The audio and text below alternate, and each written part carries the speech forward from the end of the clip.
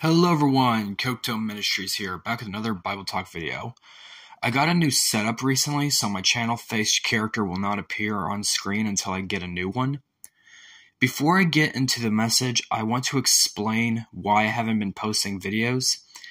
If you just want to hear the message, skip to the time on screen.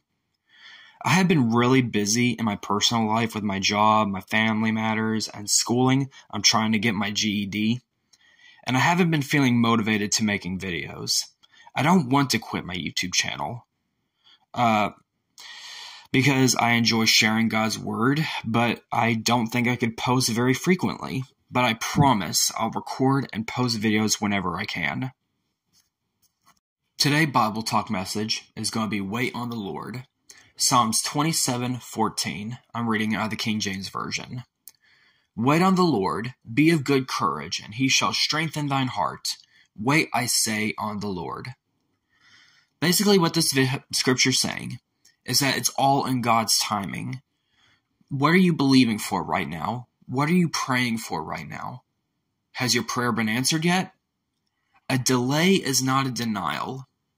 See, we want to put a time limit on everything. As as humans, we want to have everything exactly when we want it.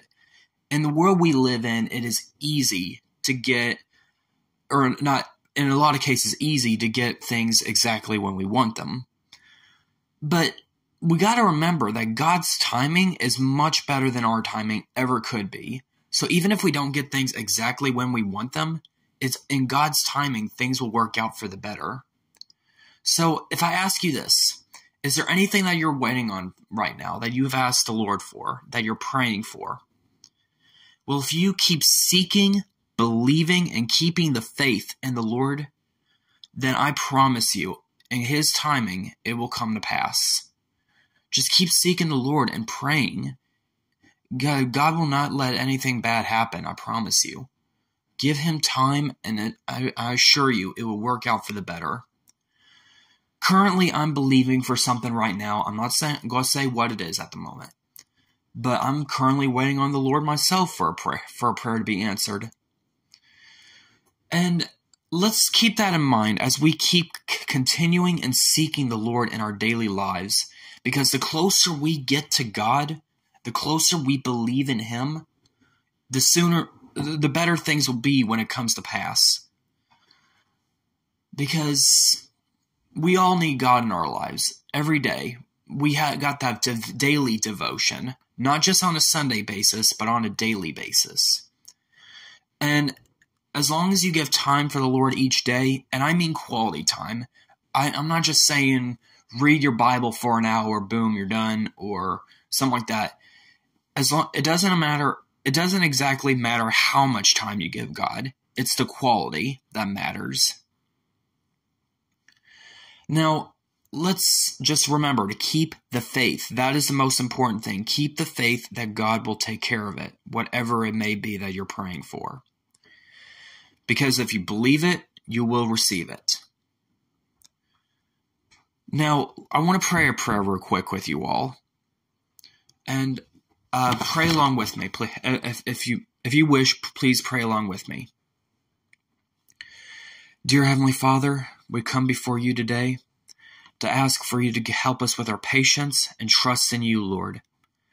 Help us keep the faith in hard times in our life, Lord Jesus, and know that everything will work out in your way, Lord. Let your will be done for us in Jesus' mighty name. Amen and amen. Just trust in the Lord, everyone. Keep the faith that everything will turn out just fine. Keep the faith that everything in your life will work for the benefit for you and God's timing. I'm also one to pray for anyone who wants to be forgiven of their sins. If you want to be forgiven of your sins, please pray with me.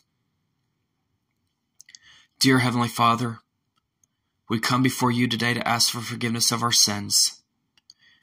Jesus, we know that you died on the cross and rose again. I, I confess my sins before you this day. Please come into my heart and life and write my name in the Lamb's Book of Life. In Jesus' name we pray. Amen and amen. If you prayed that prayer and you meant it and you want to accept Christ as your Savior, then you are saved in Jesus' name. I want to thank you all very much for watching. God bless you and goodbye, everyone.